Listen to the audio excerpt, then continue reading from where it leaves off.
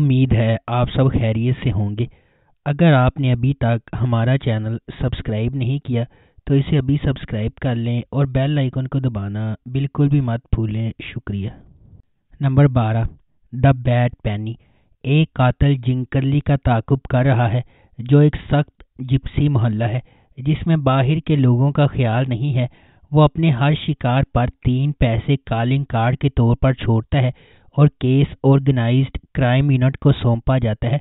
इसके कप्तान एफए इब्तदाई तौर पर कारताल पर शक करते हैं, जो एक रोमानी माफिया है, जो पड़ोस का मुहाफिज और एफए का सरगना है। लेकिन वक्त गुजरने के साथ एफए को एहसास हुआ कि कारताल कातिल नहीं हो सकता। आखिरकार पुलिस एहलकार और क्राइम बॉस ने जिंकली के थ्री पैनी किलर को तलाश करने के लिए एक बेचैन इत्तेहाद बनाया। इनका मिशन दोनों मर्दों को बदल देता है। नंबर ग्यारह, रैमो। यह सीरीज़ रैमो की गैर मामूली कहानी सुनाती है, जो एक हकीकी शख्स से मुतासर होकर लिखी गई है। एक ऐसा शख्स जो अपने आला अफसरान के खिलाफ जाता है। ये एक ऐसी कहानी है जिसमें ख़ानदान, इंसाफ, इंतकाम, दोस्ती और मोहब्बत के गहरे तनाज़ात शामिल हैं। ईंधन चोरी करने वाला ग्रुप जो डीजल ईंधन की स्मगलिंग के लिए जाना जाता है, एक ताकतवर ख़ानदान के लिए काम करता है, जो पूरे इलाके को चलाता है। इनके बदले में सिर्फ़ वही चीज़ मिलती है, जैसा कि रैमो कहते हैं, कुत्ते को दी गई हड्डियाँ, जबकि गैंग गंदा काम करती है। चंगेज बोस तमाम पैसे हासिल करता है। रैमो, जो सलूक इसके ख़ानदान को मिलता है, इसे कबूल करने से कासिर है। इससे कोई फ़र्क नहीं पड़ता है कि इसमें कुछ भी करना पड़े। निज़ाम को तब्दील करने का फ़ैसला करता है। वो पहला मौका मिलते ही फसादात के झंडे गाड़ देता है, जैसा कि इसके वालिद ने अपने दौर में किया था। नंबर दस, कारादई। कारा ख़ानदान की ज़िंदगी एक गलत इल्ज़ाम की वजह से बदल जाती है, जिसके नतीजे में नाजिफ कारा को इस कत्ल के जुर्म में कैद कर दिया गया है, जो इसने नहीं किया था। नंबर नौ unlimited love unlimited love Halil Ibrahim Karasu की कहानी है, जो अपनी पैदाइश के वक्त बहरा असवद के गाँव से वापस आता है। हलील को इस वक्त फरार होने पर मजबूर किया जाता है, जब वो सिर्फ़ पाँच साल का था। जब इसके वालिद को मकामी क्राइम बोस रिजवान लीटो ने कत्ल कर दिया था, बीस साल बाद हलील अपने बचपन की प्यारी यासमीन से शादी करने घर वापस आता है। लेकिन जब रिजवान का बेटा यासमीन को कत्ल करता है तो इसका मिशन बिल्कुल नई सिमत इख्तियार करता है। हलील एक आदमी की फौज बन जाता है, जिसका वाहद मकसद रिजवान लीटो को तबाह करना होता है। नंबर आठ, द पिट। एक खतरनाक पड़ोस, द पिट। चोकोविलार नामी एक माफिया खानदान चलाता है। जब खानदान द पिट का कंट्रोल खोने के खतरे में है तो इनके सबसे छोटे बेटे को अब अपने घर वापस आना पड़ेगा, जहाँ से वो कभी नहीं बच सकता था।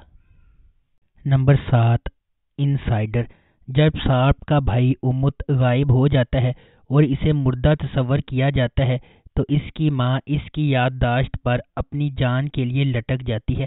सार्प अपने आप को खोने का जिम्मेदार ठहराता है और अब भी इस नुकसान से परेशान है।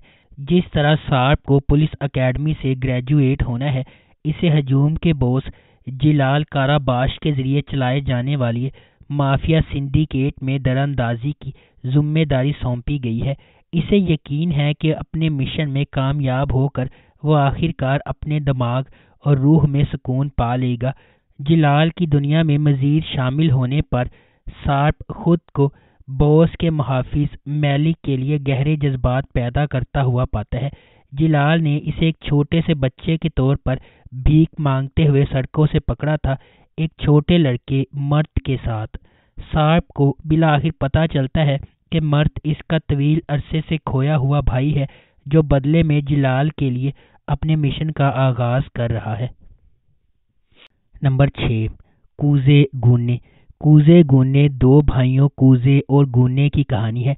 कूजे बेबाक, बेखौफ और बेसाख्ता है। गूने कूजे से बिल्कुल मुख्तलिफ़ है। वो पुरसकून मरीज़ है, बगैर सोचे समझे काम नहीं करता और स्कूल में भी बहुत अच्छा है। इन भाइयों में सिर्फ़ एक चीज़ मुश्तरक है, वो है जैमरे से इनकी मोहब्बत। जैमरे एक लड़की है जो हाल ही में अपने पड़ोस में मुंतकिल हुई है।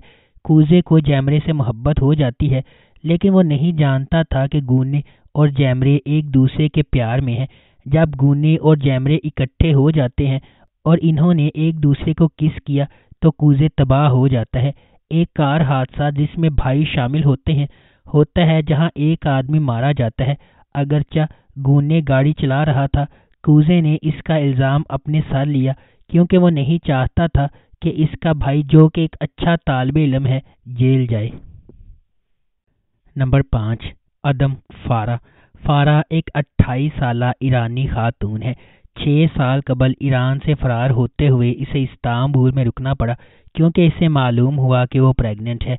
वह वहाँ एक गैर कानूनी तारकिन वतन के तौर पर रहने लगती है।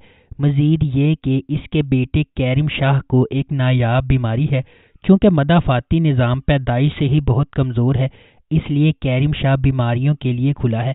इसलिए इसे जरासीम से पाक माहौल में रहना पड़ता है। फ़रा मेडिकल की तालीम हासिल करने के बावजूद इस्तांबुल में गैर कानूनी तौर पर सफ़ाई का काम करती है। फ़रा की ज़िंदगी का मकसद इसके बेटे कैरिम शाह के लिए सेहतमंद होना और आम बच्चों की तरह ज़िंदगी गुजारना है। वो जल्द अज जल्द पैसे बचाएगी और अपने बेटे का इलाज मुकम्मल करके फ्रांस जाएगी। लेकिन फ़रा की दुनिया रातों रात बदल जाती है। वो माफिया के ज़रिए किए गए कत्ल की गवाह है, जहाँ वो सफ़ाई करने जाती है और ताहिर लीके से मिलती है। नंबर चार, द रेवन। कुजगुन की ख़ानदानी ज़िंदगी इसके वालिद के खिलाफ पकड़े जाने के नतीजे में मुकम्मल तौर पर बदल जाती है, जो एक पुलिस ऑफिसर है। कुजगुन एक गुलामी, दर्द, गुस्से और जद्दोजहद में पड़ जाएगा। जो 20 साल तक जारी रहेगा। नंबर तीन, द फैमिली। असलान सोई खान इस्तांबुल के सबसे बदनाम जुर्म खानदान के सरबरा हो सकते हैं, लेकिन खाने की मेज़ पर इसकी माँ हुलिया लोहे की मुट्ठी के साथ हुकूमत करती है। वो अटूट रवायात के एक मजमू के साथ बेहंगम कबीले को एक साथ रखने में कामयाब रही है, जिसमें सबसे अहम बात यह है कि आप मेज से नहीं बच सकते। ये सब कुछ दुआ में उड़ जाता है जब असलान एक ऐसी औरत की खातिर ख़ानदानी रात के खाने में खलल डालता है, जिससे इसकी अभी मुलाकात हुई थी। खूबसूरत माहिर नफ्सियात डेविन। डेविन और असलान मोहब्बत में पड़ जाते हैं और जैसे जैसे वो करीब होते जाते हैं, माहिर नफ्सियात इसके मुतजाद ख़ानदान की तशीस करने में मदद नहीं कर सकती। लेकिन क्या एक माहिर नफ्सियात मैदान जंग के एन वस्त में फेंक कर सबको ठीक कर सकती है, और क्या वो अपने ज़ख्मों से मुकम्मल तौर पर ठीक हुए बगैर असलान जैसे नारसिस से निमट सकती है? नंबर दो, ग्रीम। दागान मशरक में खिदमात अंजाम देने वाला एक शोल्जर है। कुछ तकलीफ़ दे वाक़ात की वजह से इसे अपने आबाई शहर से दो साल दूर रहने के बाद वो थोड़ा सा जहनी वक्फा लेने के लिए वापस आता है। तहम, जब वो अपने पड़ोस में वापस आता है तो इसे कुछ नहीं मिलता, क्योंकि इसने इसे छोड़ दिया था। इसकी गर्लफ्रेंड आयदन, जिसके साथ इसकी पुरजोश मोहब्बत थी, गायब हो चुकी थी। इनकी मोहब्बत इतनी शदीद है कि जब वो अलग होते हैं तो भी वो मुकम्मल तौर पर अलग नहीं हो पाते। इसलिए इसे तलाश ना कर पाना दागान पर गहरा असर डालता है। इसका खानदान टूट गया है। इसे मालूम हुआ कि इसकी बहन एक आदमी के साथ भाग गई है। इसके भाई ने स्कूल को छोड़ दिया है और मशकूक कारोबार में शामिल हो गया है और इसके वालिदैन अलग हो चुके हैं। पता चला कि दागान ही घर को इकट्ठा कर रहा था। जब वो चला गया तो सब कुछ टूट गया। नंबर एक, black and white love. Ferhat एक दर्दनाक माजी के साथ एक सर्द खून वाला हिटमैन है। वो अपने मुजरिम चचा नामिक के लिए काम करता है। दूसरी तरफ़ असली एक नौजवान और मिसाली सर्जन है, जो इंसानियत की खिदमत करना चाहती है। एक दिन इनके रास्ते इस वक्त गुजर जाते हैं, जब असली ने एक ऐसे शख्स को बचाने की कोशिश की, जिसे फरहत ने गोली मारी थी। सर्जरी की वजह से असली गैर इरादी तौर पर खुद को एक अजीबोगरीब पोजीशन में डाल देती है, जो इसे अपनी जान बचाने के लिए फरहत से शादी करने पर मजबूर करती है। ताकत के खेल में फंसे हुए वो दोनों जो एक दूसरे से इतने ही मुख्तलिफ़ हैं, जितने स्याह और सफ़ेद। ताहम फरहत ने एक मासूम मोहब्बत की जीने के लिए बहुत गंदी ज़िंदगी गुजारी है। क्या होता है जब जान बचाने वाली औरत को जान लेने वाले मर्द ने पकड़ लिया? एक पुरजोश मोहब्बत पैदा होने वाली है। अगर आपको हमारी ये वीडियो पसंद आई है तो इसे लाइक करें, शेयर करें और हमारे चैनल को सब्सक्राइब करना बिल्कुल भी मत भूलें। शुक्रिया।